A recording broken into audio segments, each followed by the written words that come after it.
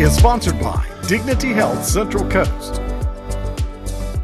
Marian Regional Medical Center has been designated as a Level 2 trauma center. Trauma Medical Director Dr. Joseph Centeno and Emergency Medicine Medical Director Dr. Alicia Gonzalez discuss what this means to our region. We now can provide 24 hour coverage seven days a week for trauma patients. For patients with life threatening injuries, having this type of care available around the clock could make all the difference. You're going to have a trauma surgeon at bedside within minutes, and that's day or night whether it's bad orthopedic trauma coming from the dunes, whether it's a car accident, whether somebody falls down at home. It doesn't really matter. We do an excellent job with all of those things, and we have all the experts we need to do an excellent job.